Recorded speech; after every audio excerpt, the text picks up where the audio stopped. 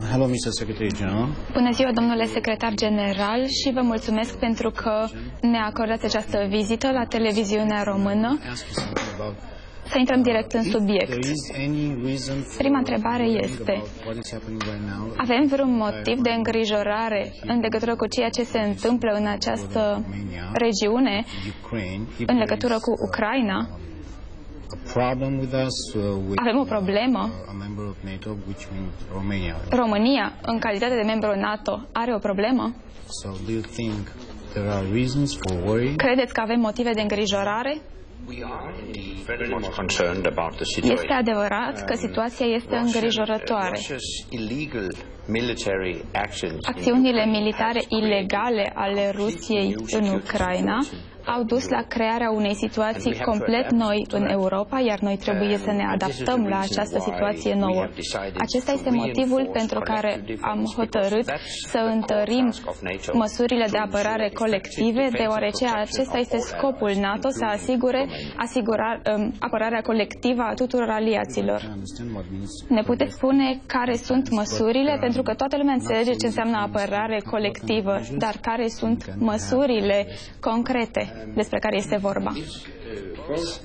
um, at sea, in the air, Este vorba și de măsuri maritime și uh, aeriene și terestre. more air policing over the Avem aeronave Yoshimo, mai multe trupe de poliție, over Poland and Romania. aeronave de supraveghere în spațiul aerian al României și al Poloniei, iar din punct de vedere maritim ne-am întărit prezența navală la Marea Neagră și la Marea Baltică, iar uh, din punct de vedere al măsurilor terestre s-au făcut mai multe exerciții.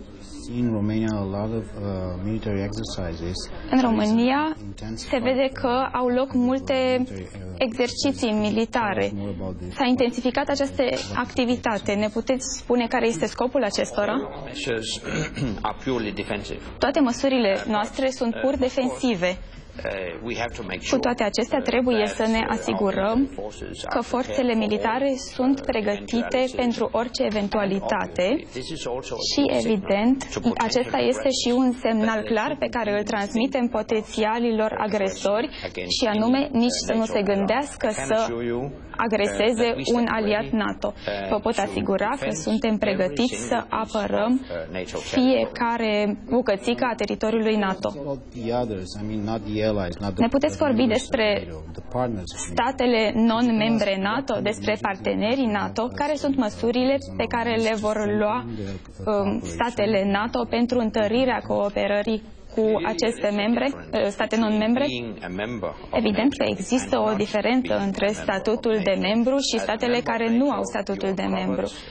Statele membre NATO sunt uh, acoperite de um, această alianță, ceea ce înseamnă că un atac asupra unui aliat este un atac asupra tuturor aliaților. Asta este clauza noastră de solidaritate și înseamnă apărare colectivă.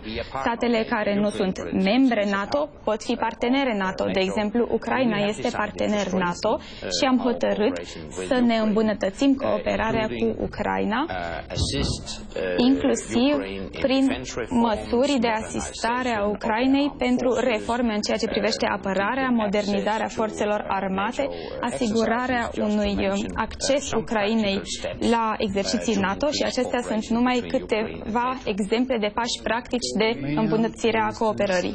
Moldova, Republic of Moldova is uh, mostly De exemplu, like a sensitive case pentru for us. România, Republica Moldova este un uh, caz sensibil. Ne puteți spune câteva um, detalii despre măsurile luate în legătură cu Moldova? Sunt, este Moldova în aceeași situație? Parteneriatul nostru cu Moldova este excelent. După cum știe toată lumea, Moldova pursues uh, a neutrality policy, Moldova are o politică de neutralitate, also built de in, non-alianță, uh, their constitution. Care este integrată și în Constituția Republicii Moldova. Noi respectăm această poziție a acestui stat, An excellent partnership dar am și construit un parteneriat excelent cu Moldova, care recent a hotărât să participe cu un contingent militar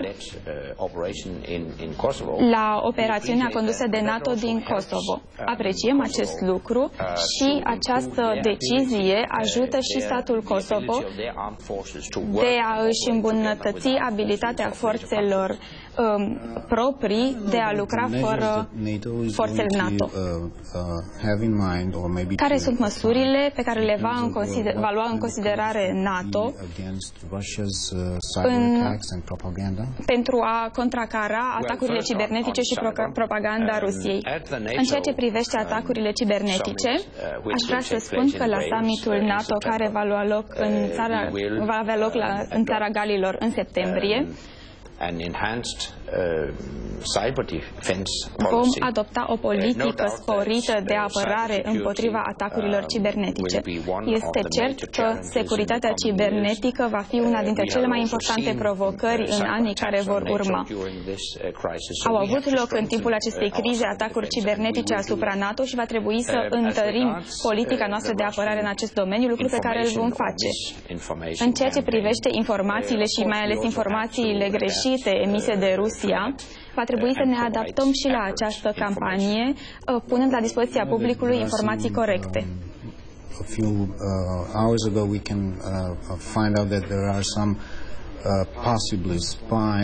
Știți că s-a aflat deja că este posibil să existe spioni din Rusia care au intrat în legătură cu alianța într-un fel sau altul. Considerați că spionajul rus încearcă să își întărească poziția în cadrul alianței? Uh, nu exclud nimic, deoarece am fost martorii unei abordări rusești mult mai sofisticate în ultima vreme.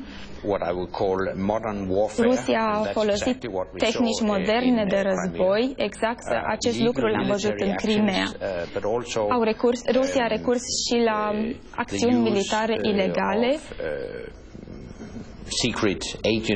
dar și la uh, agenți secreți care au încercat să uh, destabilizeze situația din Crimea și să asigure un pretext pentru ocupație. Uh, Aceste lucruri au existat și au dus la anexarea ilegală a Crimei.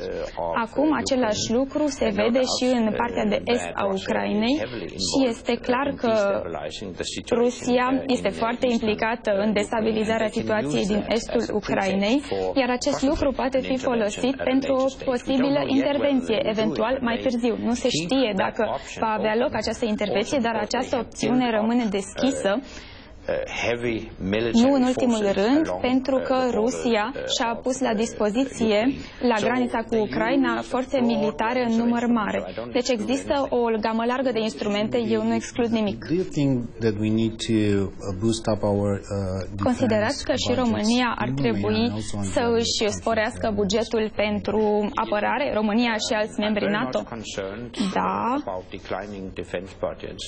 Sunt foarte îngrijorat de faptul că bugetul pentru apărare apărare scade în multe state, în timp ce Rusia a crescut um, cu 10% în ultimii 5 ani în fiecare an investițiile în apărare Mulți aliați NATO au redus bugetul pentru apărare, unele state reducând, reducând bugetul cu chiar până la 40%. Această tendință trebuie să fie întoarsă din drum, trebuie să uh, fie oprită și bugetul trebuie să crească din nou. Apreciez foarte mult că România a hotărât să sporească investițiile în apărare. Este un exemplu foarte bun. Vă mulțumesc foarte mult!